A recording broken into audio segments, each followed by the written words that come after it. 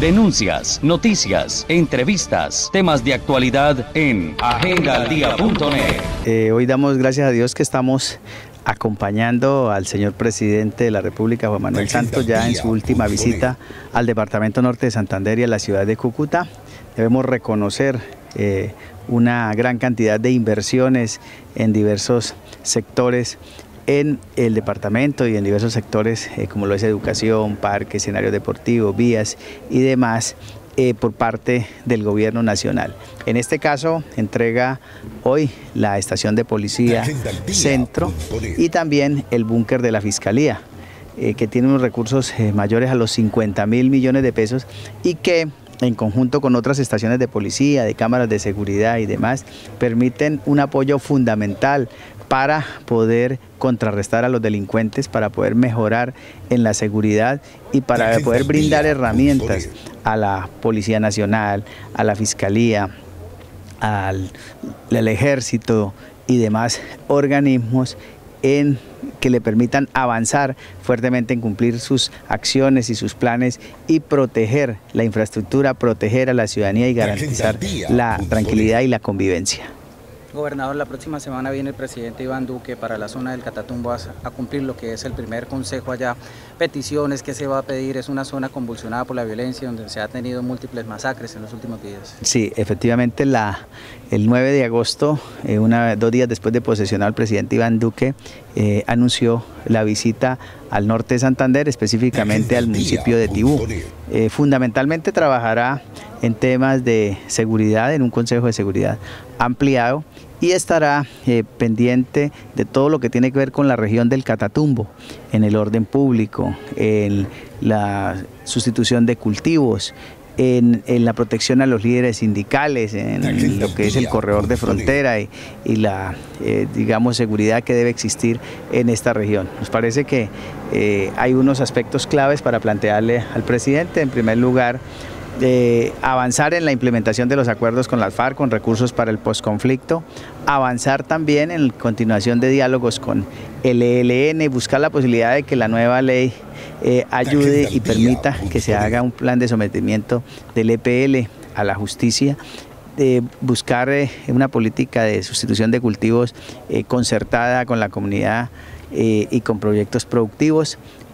generar condiciones para proteger líderes sociales y habitantes y población civil y también eh, estar atentos a los temas de frontera. A paralelo a ello habrá que hacer inversión social eh, con la implementación de los acuerdos, eh, lo que es la vía Tibueltarra Convención La Mata, que es uno de los objetivos del presidente Iván Duque, así como también terminar la vía Tibula Gavarra y poder generar recursos para vías terciarias, para escuelas, colegios deportivos, cultura y proyectos productivos gobernador va a hacer alguna propuesta referente al ingreso masivo de venezolanos al departamento norte de Santander. Durante los últimos días se ha visto un ingreso mayor.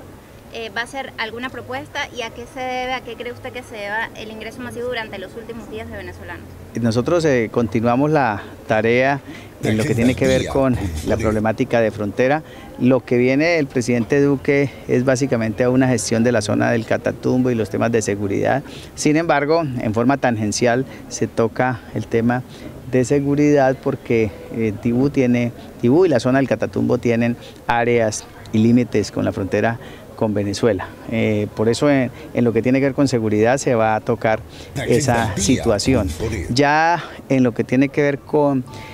con los migrantes venezolanos, eh, nosotros tuvimos la oportunidad ya de exponer algunas situaciones y se busca que haya una atención a los migrantes y que este problema eh, ya tiene unas repercusiones internacionales porque los eh, migrantes venezolanos están llegando no solo a Colombia, no solo al norte de Santander, sino están avanzando hacia otros países de Sudamérica, es decir, tomó una dimensión de carácter internacional y por eso es necesario apoyo de diversas naciones para poder generar eh, una atención a estas personas que efectivamente lo necesitan y que les toca irse del país por todos eh, los acontecimientos que se están generando. Nosotros entonces esperamos que no solamente sea eh, una respuesta del gobierno nacional, sino que se pueda articular con otras naciones para poder generar una atención y unas posibilidades para esa gente. La gobernación del departamento priorizó recursos de regalías para poder generar condiciones eh, dignas a los estudiantes del colegio La Gavarra. Es decir, que puedan recibir este servicio, pero que lo reciban en, buenas instalaciones. Por eso se dio la oportunidad de construir un megacolegio, el megacolegio La Gavarra, que tuvo un costo de recursos de regalías de 22.500 millones de pesos, incluida la dotación, todos los pupitres, eh, todos los laboratorios y demás. La obra se terminó el final del año pasado, como en noviembre, estaba lista para que pudieran pasarse los estudiantes y empezaron los miembros del Consejo Directivo a presionar en el sentido de que no dejaban que se conectara el, colegio al acueducto del barrio y que porque entonces el barrio se quedaba eh, sin agua. Ante esa situación que no era la real, eh, porque nosotros teníamos disponibilidad de servicios de la empresa que hace esta situación, decidimos entonces construir eh, una nueva conducción para llegar hasta el punto desde donde se toma el agua. Luego se mencionó que entonces había que hacer una nueva planta de tratamiento porque se estaba tomando el agua que no era potable. Había razón en ello y destinamos recursos de la Secretaría de Aguas para poder construir la planta de tratamiento. Eh, ahora se reúne inexplicablemente el consejo directivo otra vez y dicen que no dejan pasar, eh, pasar los estudiantes hasta tanto no se les haga otros arreglos. Y nos parece que están violando los derechos que tienen los niños, niñas, jóvenes y adolescentes a recibir educación con calidad y, no a estar en, hacinados en salones de 50 y 60 estudiantes con ese calor que hace allá en la Gabarra y sin ni siquiera tener unas áreas deportivas ni comedor escolar ni biblioteca y pudiendo tener precisamente eh, todas estas comodidades pasándose al nuevo colegio. Por eso Consideramos que hay unos intereses tal vez eh, diferentes a prestar la educación detrás de esta situación y vamos entonces a abrirle investigación disciplinaria al rector para que explique por qué no ha actuado en unas decisiones que tiene ya la Secretaría de Educación y al Consejo Directivo para que explique ante las autoridades cuál es la negligencia. Como vamos, van entonces a decir que no se pasan hasta que no les pavimenten el corregimiento y hasta que no les pavimenten la vía Tibula Gavarra y terminarán entonces hasta que no se termine la sustitución de cultivo y nos parece que no debemos estar sujetos a ese tipo de condicionamientos y debemos